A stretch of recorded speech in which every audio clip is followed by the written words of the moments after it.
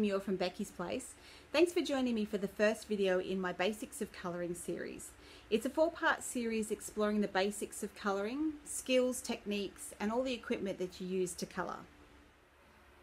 I've included a link in the description of the video for some downloadable resources for all four of the classes you can head over to the blog and print those out um, whenever you like.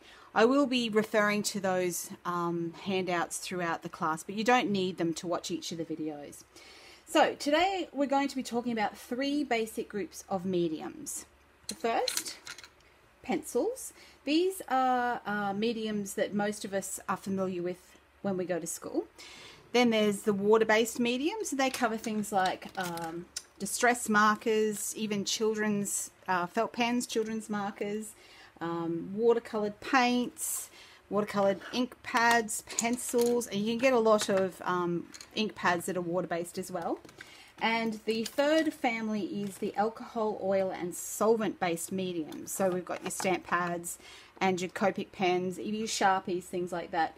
Um, all the things that have a base of alcohol, oils, or solvents. So let's get started first with the coloured pencils.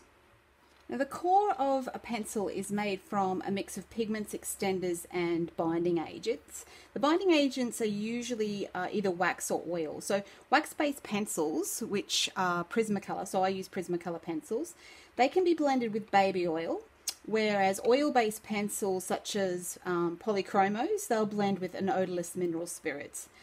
You probably notice a price difference in um, amongst a range of pencils. So when you're looking or shopping around for different pencils, you'll notice that there's quite a, big price difference. That's usually due to the quality of the pigments, uh, how light fast they are, and the amount of extender that's in the pencil.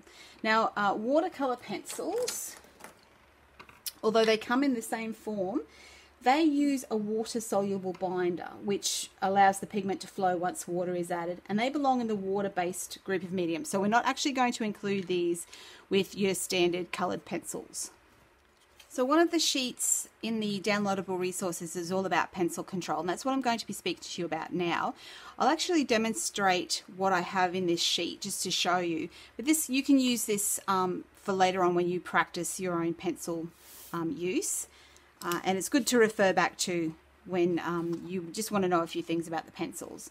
So when using pencils, what we're looking at is uh, a variation in the amount of pigment that you lay down. So more pressure, if you start by adding lots of pressure, that means more intensity of the color. So the more I press, the darker that color is going to be, as you can see there. I'm just using plain smooth cardstock for this, nothing um, exceptional. The pencil will just go nicely over the top of this um, cardstock. So pressing harder, that means more pressure, um, more intensity of colour, and less pressure means less pigment is going to be laid down, and therefore you're going to get a lighter look to your colouring. What you want to do is to practice that transition between the high and the low intensity.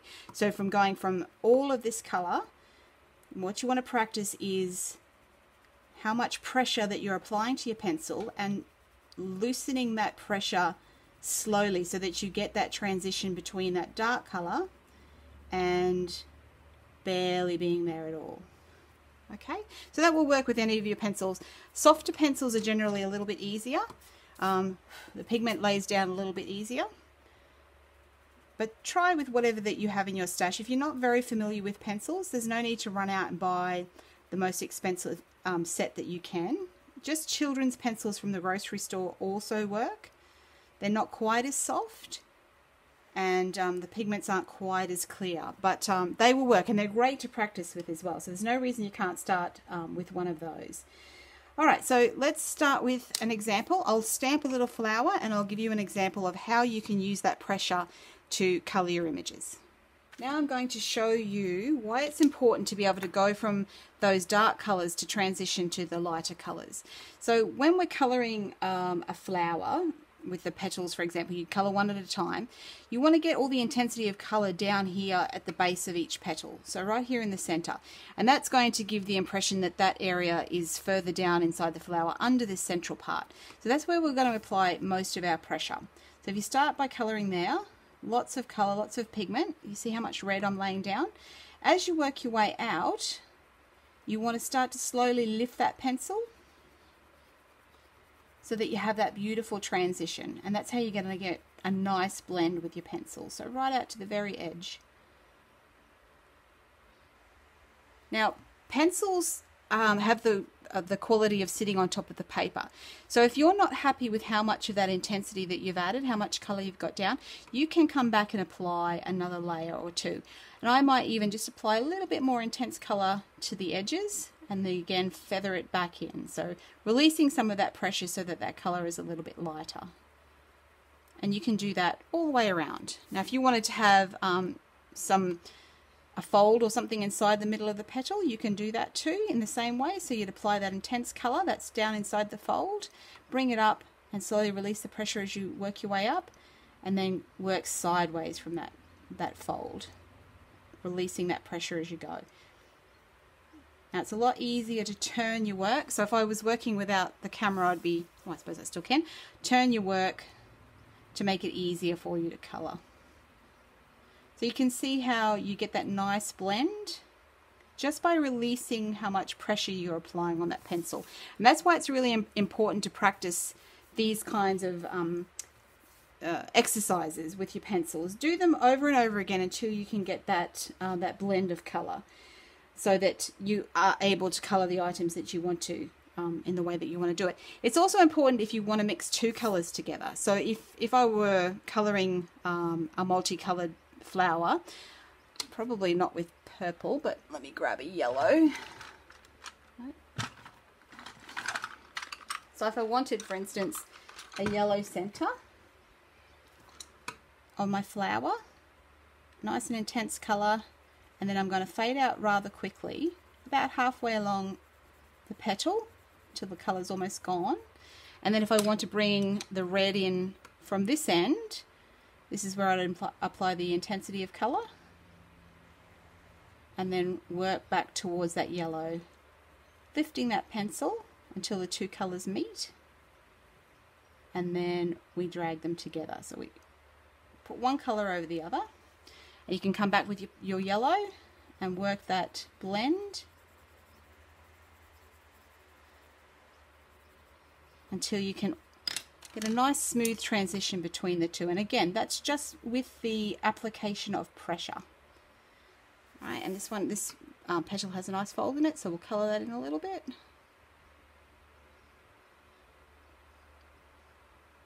And again, smooth it out so that you don't have any sudden changes. When you do have a sudden change, like just here on the top of that petal, it, it looks clearly like a step down, which is sometimes what you want. So to show that that's a fold in the petal, that's what we want. All right, so being able to apply that very light amount of pressure is important for uh, smooth blending and transitioning between light and dark areas of an, of an image. Next up are our water-based mediums. Now water-based mediums are generally reactive with water, although there are some exceptions to that rule and even some items that are hybrids, but we're just going to keep to the basics for the sake of these videos. Water-based mediums work really well with watercolor paper because it's designed to hold a lot of liquid without damaging the fibers of the paper. Right, this is watercolor card and these are a variety of different watercolors. So I've got distress markers which are water-based. You can get the little uh, ink cubes of distress ink as well, but then a lot of other um, inks such as Memento, um, many of the uh, company brands, they're all water-based. They work just as well. Um, so do your cake watercolors. So these are just a little um, tray of watercolor that you just spray with water or wet your brush and, and apply um, the water to. This is an actual watercolor brush. Uh, it's made of squirrel hair and it holds, it's designed to hold a lot of water. So if I was painting a proper um, painting or something with watercolor, I'd, I'd just use this brush. When I'm paper crafting, I tend to stick to the water brushes that have this, this well here in the handle of water. Handy especially if you're going off to uh, classes or crop days or things like that. So I'm going to show you directly onto the watercolor card and what I'm going to do is we're going to lay down a little bit of color onto uh, a non-porous surface. In this case I'm using an acrylic block but you can use a piece of glass or if you've got a non-stick mat piece of plastic anything like that You can use any of these um, water-based products. So I can lay down a little bit of distress ink if I wanted to. I might use the pink, so I could lay down my marker. Even the children's markers work really well. So it doesn't matter, whatever water-based uh, products you want to use is fine. Then all you need to do is pick up the color with your brush.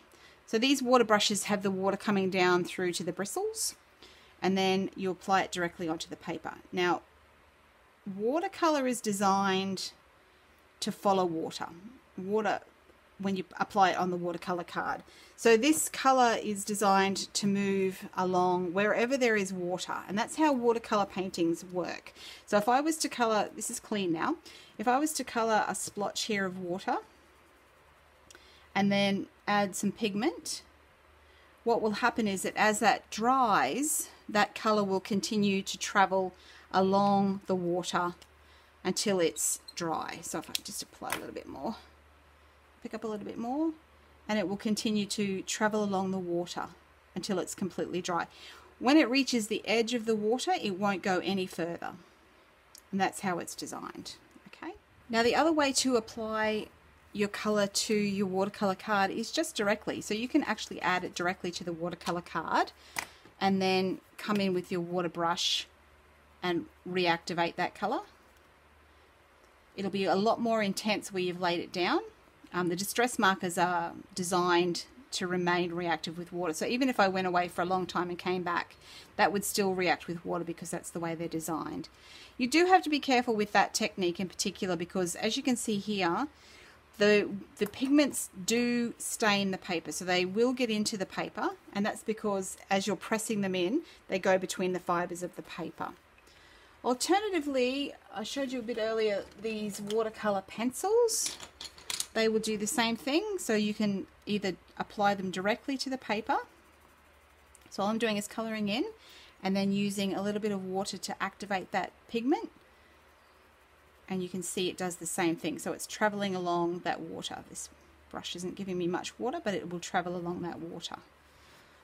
Okay, so if we're, we're talking now about a picture, if I were to have a flower, I'll just grab my other brush. If I was to draw a little flower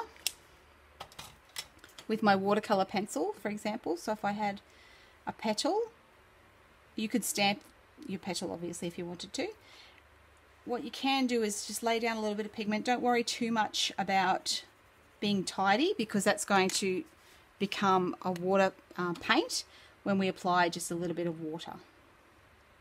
So if I don't apply water in the center of that petal, then no color will actually end up in that center part. And that's how watercolor works. And when you're painting with the watercolors, Wherever you want that intense color to be, that's where your brush should end up last. So pick it up down where there's the most intensity of color. And that, as I said, that will continue to travel along that water until it's completely dry. Now, one of the things that we love about watercolor is how it can blend. It doesn't tr traditionally blend the same way that other, other colors do. So if you have a flower, it's a little bit more difficult to control watercolor because it follows the water. So if I were to have, if I wanted a red and yellow flower, so I've got my red pigment. This is what I showed you before. I have my little petals. So while that's wet, I can actually introduce another color if I want to. So I'm not going to add any yellow directly to the paper. What I'm going to do is I'm going to pick it up directly onto my paintbrush, which is another way that you can add the color. So just grab your other your other color and then use it like a cake of watercolor paint. So just pick it up directly onto the brush. So the brush now is all yellow and then I can tip it in wherever I want it to go. And that's going to mix by itself right there on the page. Again, remember it's going to follow the water and it will end up wherever it wants to end up. So you can see how it's slowly creeping outward following that water along the petal. And that's, again, that's one of the uh, qualities of watercolor um, paints and things like that. The third group of colouring mediums are the products that contain oil, solvent or alcohol. Alcohol markers are one of the most popular mediums with colorists um, and there are lots of different brands on the market. Personally I use Copic but there are other brands and whatever you have at home is fine. So without turning this into uh, a demonstration on alcohol markers, I will just give you a little bit of a demo on blending tones within a single color family. Many of your alcohol markers will have uh, color codes on them. So with the Copic system, they all have a letter and numbers on the on the marker itself. That tells you the color family. So in this case, it's B for blue, and then the number indicates how much of a tone is in each um, of the pigments. So you need to use them in um, in like a color family, you don't have to follow the numbers on the markers themselves, but what we're looking for is that contrast between the lights and the darks. The easiest way to learn them is by using them in their number families and then explore and play with different variations of those colors. So I'm just going to grab some scrap paper because these markers tend to come through the page. So I'll just put that underneath to protect my work surface. And what I'm going to do is just show you how to demonstrate, oh, how to, I'm going to demonstrate how to blend the colors together, starting with um, a 91, which is a really light blue. Now I'm using blending card, which is specifically made for alcohol markers. So it allows the alcohol marker to move around on the cardstock everybody has their own technique for um, blending alcohol markers. So when you see other people do it, they'll do it a different way than I do, and that's fine. If you're happy with the results, then you're doing it correctly. So that was a 91, this was a 93, and I'm coming back in with a 91 and just blending where those two colors meet up. And then you basically go along getting darker and darker or lighter and lighter some people work from the darks to the lights. Some people work the other way around. That's totally up to you. Whoops. And then you just work backwards and you blend those colors together until you're as dark or as light as you want to go. So basically it's just going over those transitions until you have a nice smooth blend. And again, you can blend two different colors together. These alcohol markers are designed for blending, so you should be able to blend um, the colors together nicely. Don't overwork the marker because what you'll find is that the pigment breaks up and then you end up with a, a sort of a mottly look to your work. So this is going all the way up to a 99, which is a really dark blue.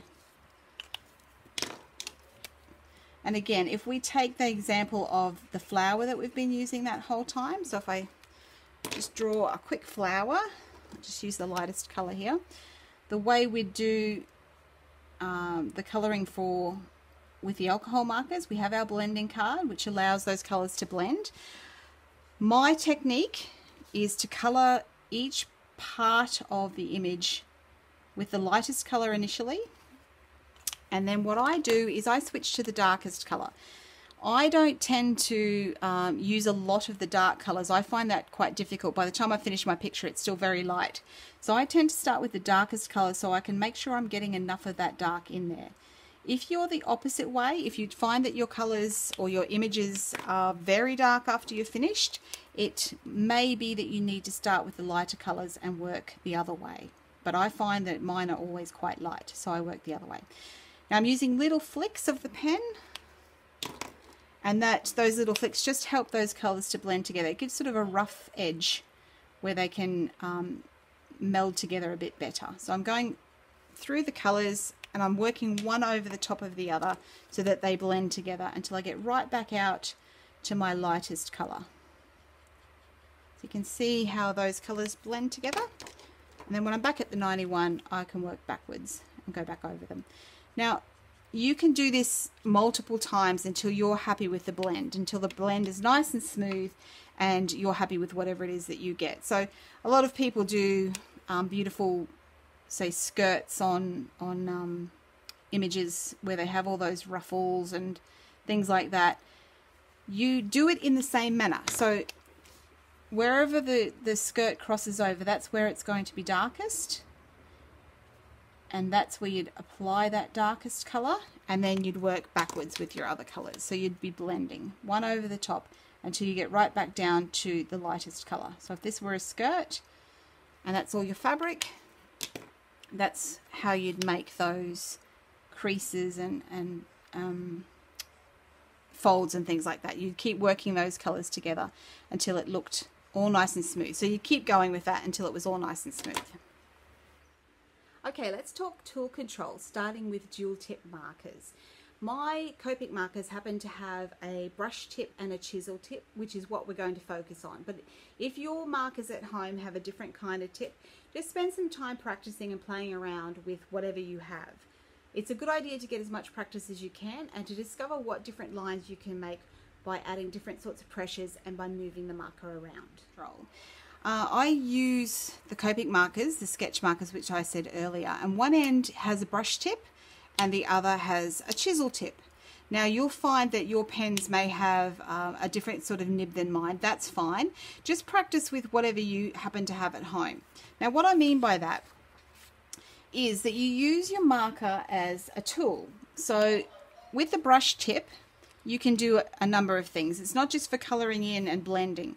What you can do is hold it straight up and down on the point so that you can stipple, which are dots. So you can do big dots, small dots, all sorts of different sizes, which are little dots like this.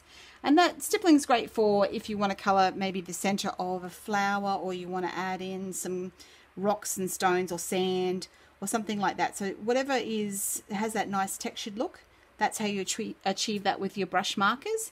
You can even use it to make a line of little dots. So more pressure means a larger dot, less pressure is a smaller dot. So you can get a, a string or a chain of dots in various sizes for decorative reasons.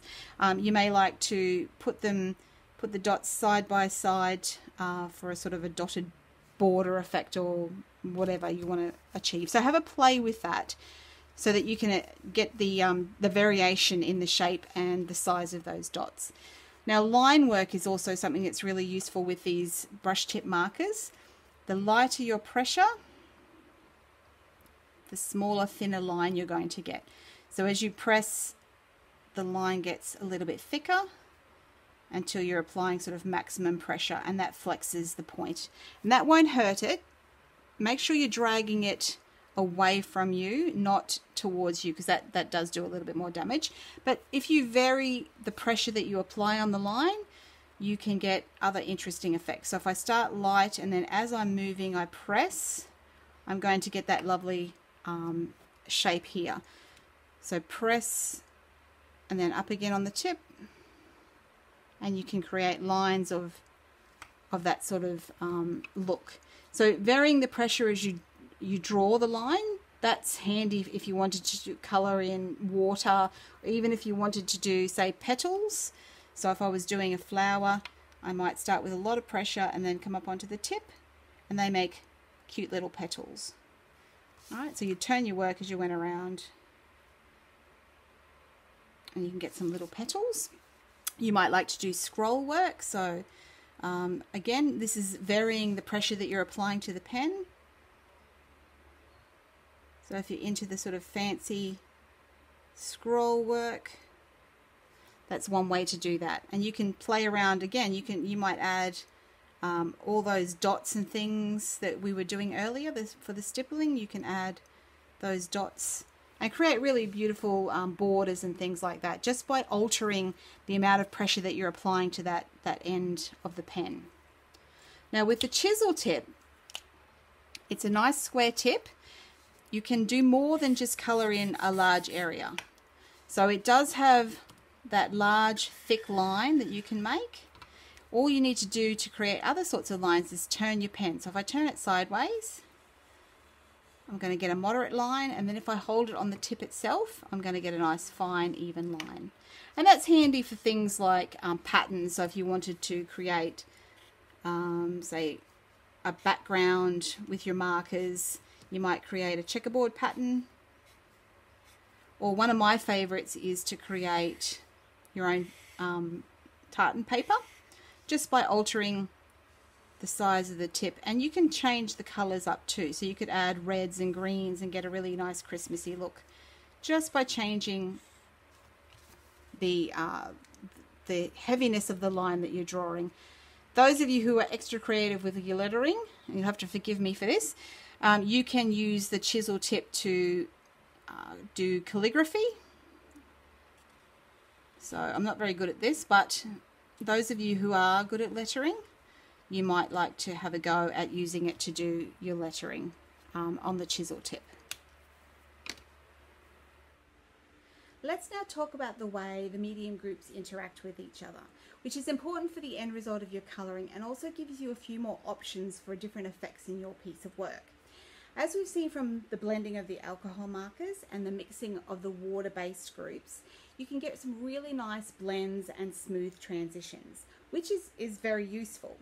There are drawbacks though from using the same colour family and that's things like smudging when you don't want that to occur. So if you plan to stamp an image and then you want to add color later on, it's a good idea to use two different color families, one medium to stamp and one medium from a different family to add the color.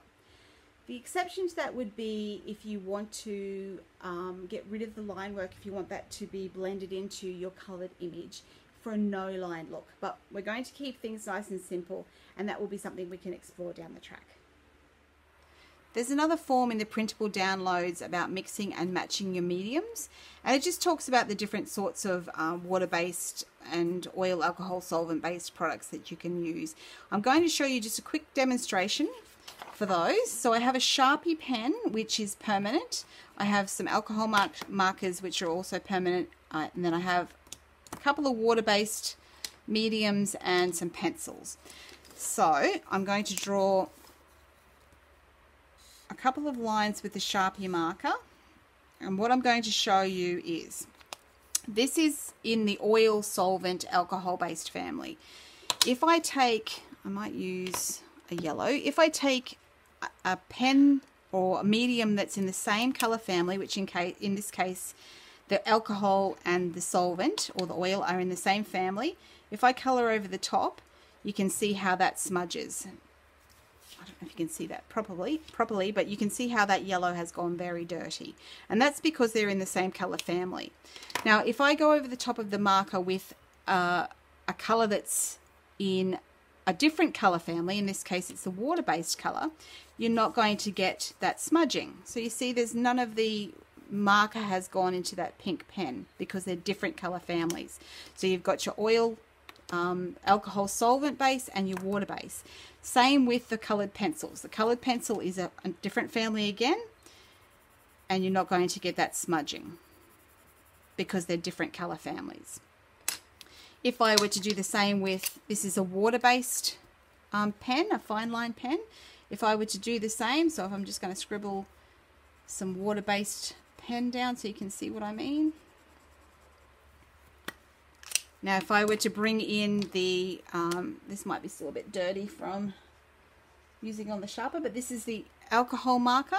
If I were to bring the alcohol marker over the water-based colour, I've still got some Sharpie on that, but that generally doesn't move because they're two different colour families. However, if I bring the water-based colour over, you're going to get lots of movement of that colour because they're the same color family. Let me just clean that off. But again, good old color pencil, nothing happens.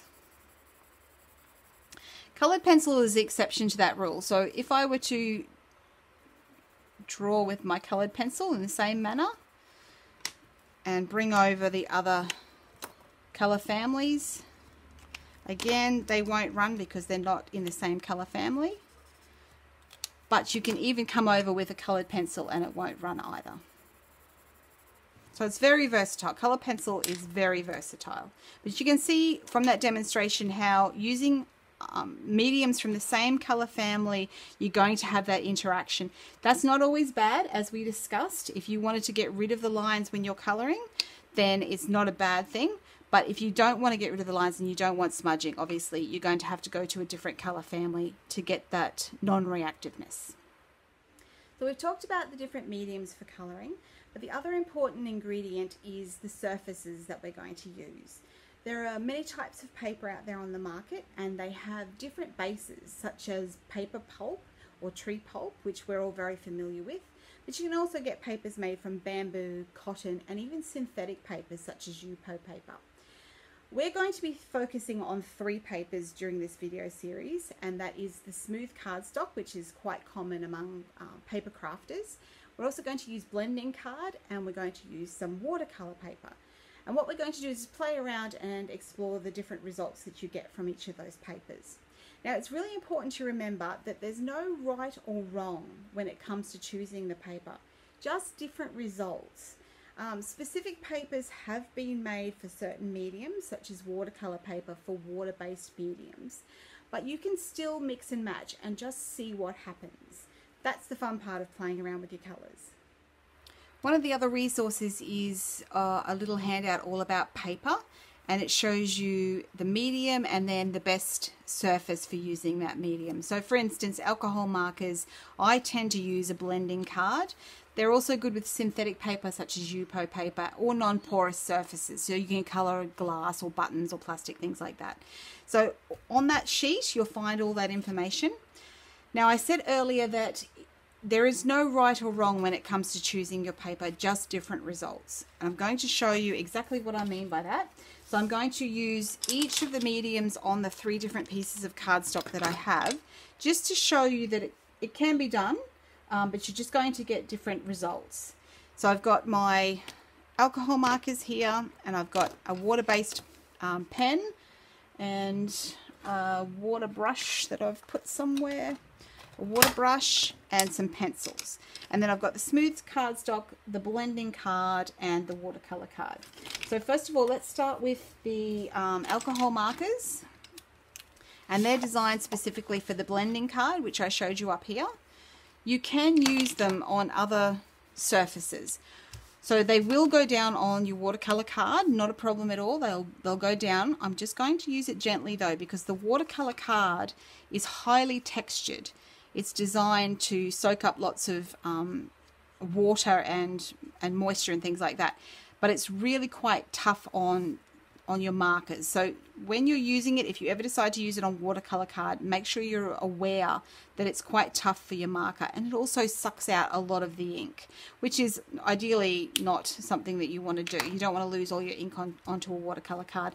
It will, however, blend. I have done it before. You are able to blend the colors together um, if you wanted to do that you can blend on the watercolor card with your alcohol markers. Probably you wouldn't go from straight from a yellow to a red, but they do blend together and you can do it, but you do need to be aware that the watercolor card is very textured and will suck up a lot of the ink from your markers.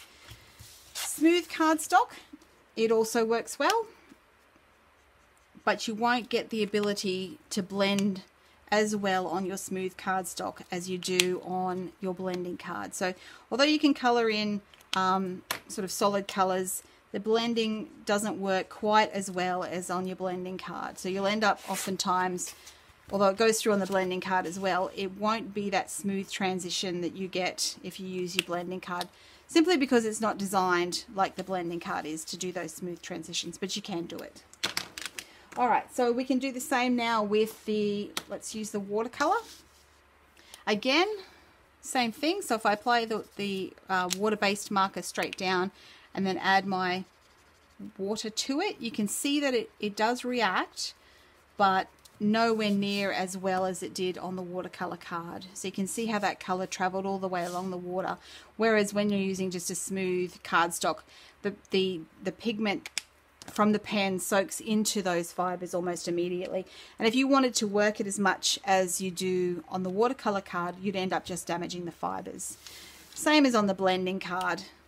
So it, it does go down, but again, it's not the same as when you're using um, the watercolor card. In fact, it's even less than on the smooth cardstock. You can see it barely moves at all because the, the blending card is not designed to soak up the water like the watercolor card is. Now, good old pencils. If you haven't noticed by now, these are definitely my favorite mediums because they go just about anywhere. The only place that I haven't seen them work well is on smooth cardstock. So this is, uh, not smooth cardstock, gloss cardstock. So this is your smooth cardstock and that's where I was demonstrating before. Also works well on watercolor card. And because pencil sits on top of the paper, you can see the beautiful texture of the paper that you're coloring. So with the watercolor card, because it does have a lot of those ups and downs, a lot of tooth, you can see all that texture and then on your blending card. Very similar to your smooth cardstock, so you can see that it goes down nicely. So very versatile. If you if you're trying to decide on what sort of mediums you want to invest in, I highly recommend going with your pencils first. Well, that's it for the first video in this video series. I hope you enjoyed it and learned a little bit along the way. Video two will be about shaping images with color. Um, I hope you'll join me for that one. In the meantime, if you have any questions, please feel free to send me an email or even visit me on Facebook. I'm always around. Thanks for watching and I'll see you next time.